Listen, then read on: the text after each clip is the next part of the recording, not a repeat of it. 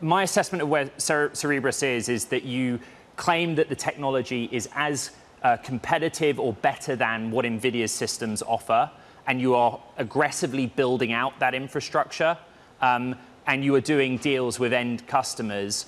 In the context of this funding round, what's your priority here? Sure. I, I think uh, it's not just what, what, what we think. Uh, every third-party benchmark has shown that, we are order 20 times faster than NVIDIA GPUs at uh, for, for inference work. So that's for the using of AI. And so uh, this is the largest and, sort of fastest growing part of the market. So um, we, we wanted to fuel our, our continued extraordinary growth. And so we're going to use this money uh, to double our manufacturing capacity. We manufacture in the US and we're going to double in the US. Uh, to extend our footprint, more data centers, uh, so we can support more customers, and those are, are in the US as well. Okay. And to continue to uh, invest behind our, our pioneering technology, which has sort of solved problems that were, were open for 75 years in the compute industry. Andrew, to what extent are you supply constrained? In other words, you have all of these customers. Are you having to choose who gets first dibs when some capacity comes online? right now, one of the, the, the, most challenging components is to get access to, to data centers. And th those are some of the, the, the, massive contracts you discussed in your previous segment with CoreWeave that they're providing to the likes of, of Meta. Uh, Meta is also one of our customers. Um, but we, uh, the ability uh, to, to stand up and deliver uh, data centers filled with our gear so that our customers can enjoy the benefit of the fastest inference through the cloud is, is one of the limiting factors right now. You've got, what, five new data centers just in the course of 2025. Looking at Dallas, Oklahoma City, looking at Santa Clara. Uh, what's really interesting, Andrew, is that where are you building? Are you literally going out there building? Are you just trying to win future relationships with a CoreWeave so that they take your compute rather than that of NVIDIA? Well, I, I think uh, we, we, are renters of data centers. We are not builders of data centers. And so uh, we partner with, with those who own the real estate and can, those who, who stand up the, the facility.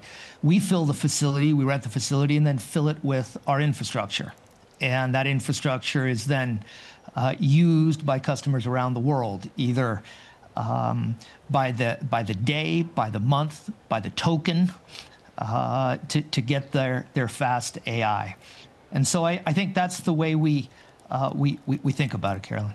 Andrew, we think about your customers and you're mentioning the likes of Meta. I'm interested in also where the money has been coming from for this round because I noticed that one of your key backers of the past isn't on the list it seems. G42, key investor in previous, and of course, Middle Eastern based, relationships potentially CEO with China. And that's been an issue for CFIUS in particular if you wanted to IPO. Have you decided not to take money from them this time?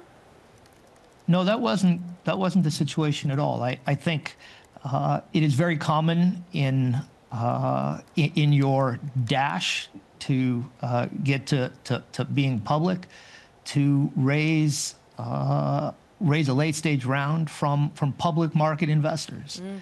Our, round, our round was, was led by Fidelity uh, and a It included Tiger Global, Valor, um, uh, 1789. It included AlphaWave, uh, all, all of whom have large and predominant public market practices. And so I, I, think this was a round that was aimed at a, a different class of investor. Um, we are continuing to collaborate with G42. They are our strategic partner. We are uh, building uh, enormous clusters in the US uh, for them. We are training models. We are serving models, including one that they built in partnership with uh, their leading university in the UAE, MBZ UAI. Um, so that, that partnership remains rock solid. Uh, Andrew, quickly then, the, the obvious question is Does your ongoing association with G42 preclude you from pushing forward with an investment based on the history of the CFIUS review? Oh, not at all. Um, not at all. I, I think uh, each investor has their, their own appetite by stage. Um, and what we found in, in this round was, was that the lead investors had a very large appetite. And so we were able to, to meet that appetite.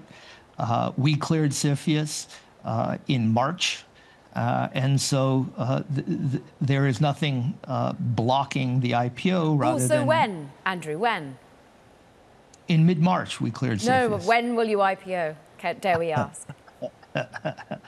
Yeah, that's the, the big question. I appreciate you asking. I uh, and as you also know, I'm unable to tell you with S1 on file, but I appreciate it.